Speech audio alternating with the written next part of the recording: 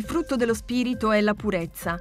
Parte da questo concetto Padre Raniero canta la messa nella quinta e ultima predica di Quaresima nella Cappella Redentoris Mater in Vaticano, alla presenza di Papa Francesco e della Curia Romana. Il frate Cappuccino ha esortato a ridestare nell'uomo innocenza e semplicità conservate nel cuore.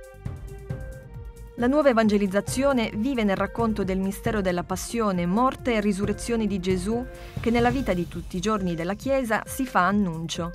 Lo ha detto Monsignor Rino Fisichella, presidente del Pontificio Consiglio per la nuova evangelizzazione, alla vigilia della Domenica delle Palme e della Settimana Santa, che culminerà nella celebrazione della Pasqua, momento di evangelizzazione per eccellenza della vita cristiana. Si concludono oggi, 23 marzo, i lavori della riunione presinodale cominciata lunedì in preparazione alla quindicesima Assemblea Generale Ordinaria del Sinodo dei Vescovi sul tema i giovani, la fede e il discernimento vocazionale, in programma a ottobre.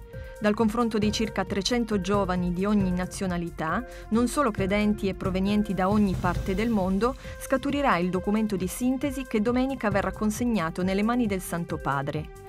Siamo andati al Pontificio Collegio Maria Mater Ecclesie, sede dei lavori, per raccogliere la testimonianza di alcuni giovani presenti. Anche quest'anno una quarantina di ragazzi di Roma e dintorni si sono preparati al Volest, esperienza di volontariato in Italia o all'estero, in Malawi, Romania, Tanzania. La proposta è del centro missionario della diocesi di Porto Santa Rufina per i giovani dai 18 ai 35 anni. Il frutto dello spirito è la purezza. È partito da questo concetto padre Raniero Cantalamessa nell'ultima predica di Quaresima nella cappella Redentoris Mater in Vaticano alla presenza di Papa Francesco e della Curia Romana. Il predicatore della Casa Pontificia si è soffermato sulla dissolutezza sessuale messa in rilievo da San Paolo e alla quale l'Apostolo contrappone l'arma della luce che è la purezza.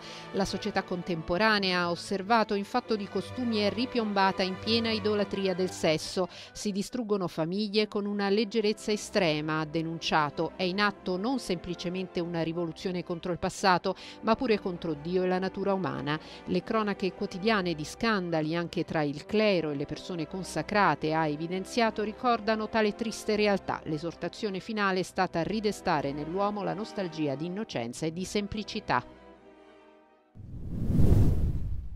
Questa mattina Papa Francesco ha ricevuto Matteo Fiorini e Enrico Carattoni, capitani reggenti della Serenissima Repubblica di San Marino, i quali hanno successivamente incontrato il cardinale Pietro Parolin, segretario di Stato Vaticano, accompagnato da Monsignor Paul Richard Gallagher, segretario per i rapporti con gli Stati. Nel corso dei cordiali colloqui è stato espresso vivo compiacimento per i costruttivi rapporti che uniscono la Santa Sede e la Repubblica di San Marino, sottolineando il comune impegno a rafforzare la collaborazione bilaterale.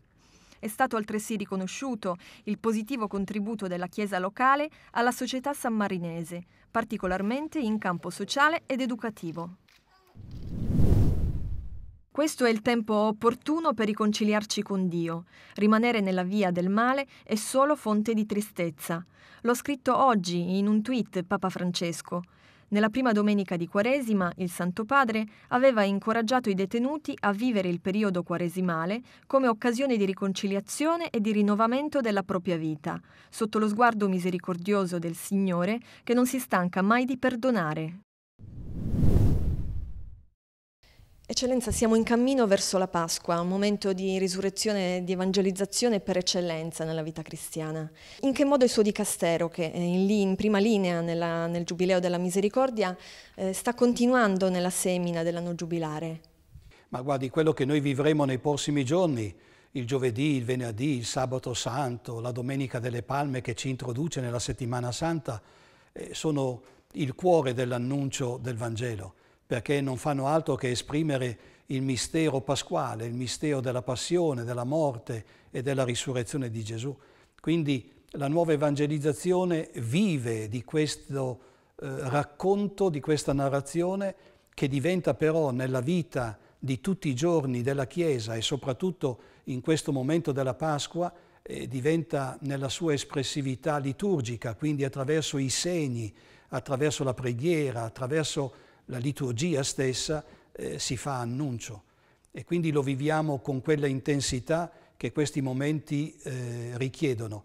tenendo anche in considerazione di una cosa, eh, soprattutto il venerdì santo, il giovedì, il venerdì santo, sono dei momenti in cui la pietà popolare esprime al meglio la tradizione di come il nostro popolo nel corso dei secoli ha vissuto questi momenti, eh, rivivendo eh, gli attimi della passione. E quindi io credo che anche queste testimonianze e tutte queste realtà di eh, nuova evangelizzazione non fanno altro che riproporre quello che è il cammino della Chiesa nel corso dei secoli. Noi siamo chiamati a inserirci in questo cammino e rivivendo questi, sia il momento liturgico che è il più importante, sia i momenti della pietà popolare, facciamo dell'uno e dell'altro una viva esperienza di evangelizzazione. Si concludono oggi, venerdì 23 marzo, i lavori della riunione presinodale in preparazione alla quindicesima Assemblea Generale Ordinaria del Sinodo dei Vescovi, sul tema i giovani, la fede e il discernimento vocazionale, in programma a ottobre. Dal confronto dei circa 300 giovani di ogni nazionalità, non solo credenti e provenienti da ogni parte del mondo, scaturirà il documento di sintesi che domenica verrà consegnato al Santo Padre. La riunione presinodale era stata inaugurata lunedì scorso da Francesco, che in un lungo discorso ai giovani li aveva invitati più volte a parlare apertamente, osando nuovi sentieri. Siamo andati al Pontificio Collegio Maria Mater Ecclesie, sede dei lavori, per raccogliere la testimonianza di alcuni giovani presenti.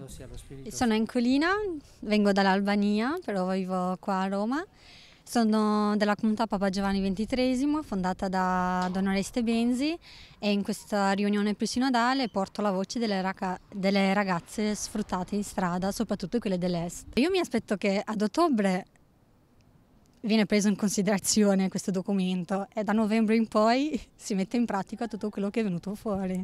È tutto da vedere, però sono molto fiduciosa perché Papa quel eh, lunedì mattina si vedeva che aveva una fiducia in quello che doveva venire fuori. Lui si fida dei giovani, quindi sicuramente lo prenderà in, in, considerazione. È stata sottolineata l'importanza proprio anche delle famiglie e di un accompagnamento che non sia cioè personale e, e comunitario e al contempo una voglia di mettersi eh, in, in, ricerca di, di, forme nuove, cioè del uscire dal convenzionale per trovare nuove strade. Ecco c'è stata una richiesta di formazione, cioè di percorsi di formazione anche su diversi fronti di, mh, mm, mm, che so, sulla formazione nel senso come aiuto per esempio a eh, leggere la, la scrittura, no?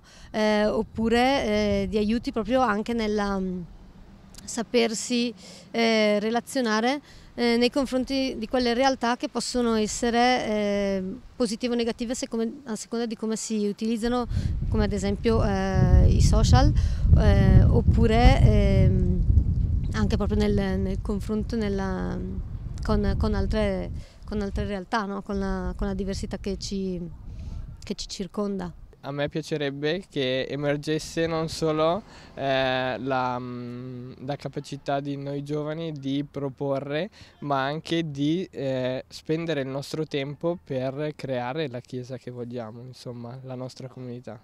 Una comunità che, che, che sa accogliere, che sa andare nel, dove noi siamo, anche nelle, nei, nei nostri mm, nei nostri luoghi di svago e, e saper accogliere eh, le, le diversità che ci sono dappertutto, qualsiasi diversità, saper raccoglierla.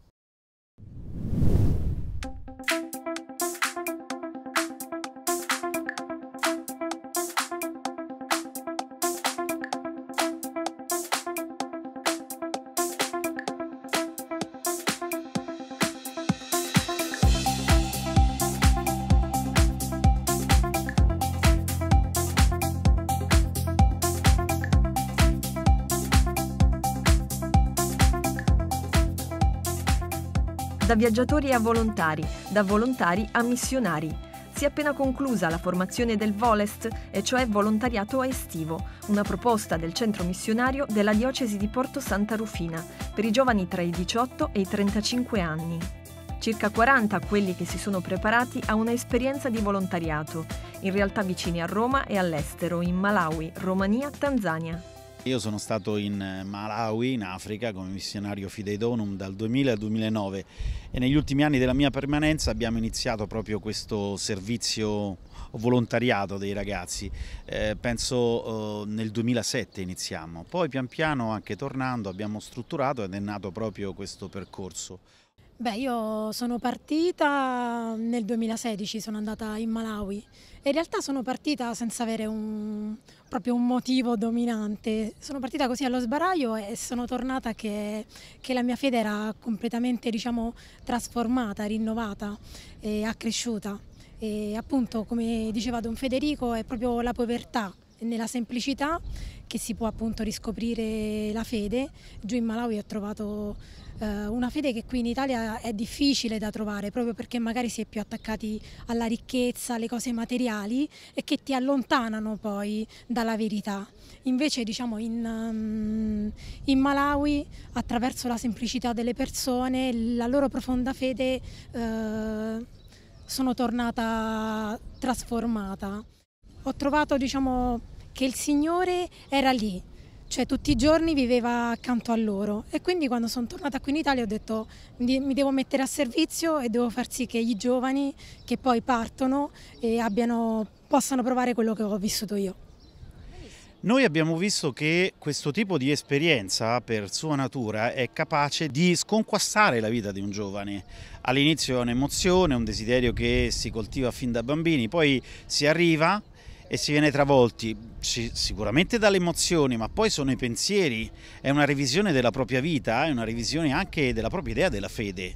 L'incontro con eh, la povertà eh, offre una nuova visione nel mondo. Quest'anno i ragazzi in uno degli incontri hanno eh, elaborato un'intuizione, eh, l'hanno trovata ma poi l'hanno fatta loro, cioè il mondo si può capire solo attraverso gli occhi dei poveri eh, i ragazzi arrivano per fare qualcosa, vogliono portare un aiuto, vogliono vedere il mondo e poi scoprono la povertà, il disagio a volte della miseria, ma trovano anche amicizie, una vita diversa, valori che sono perduti e soprattutto trovano Dio dopo averlo perduto nella loro vita in molti casi. Molte persone attraverso la povertà, attraverso la fede eh, dei poveri riescono a vedere il mondo in una maniera nuova, in questo mondo riescono a vedere Dio. L'osservatore romano con data sabato 24 marzo 2018. Attacco terroristico in Francia, tre vittime a Carcassonne e nella vicina cittadina di Trèbes, ucciso dalle forze speciali l'assalitore che aveva dichiarato di appartenere all'ISIS. Decine di civili morti in Siria, tragica escalation del conflitto. La guerra dei dati, Zuckerberg convocato dal congresso mentre lo scandalo rischia di arrivare anche alla Casa Bianca. Studentessa cristiana ancora detenuta da Boko Haram. Udienza ai capitani reggenti della Repubblica di San Marino.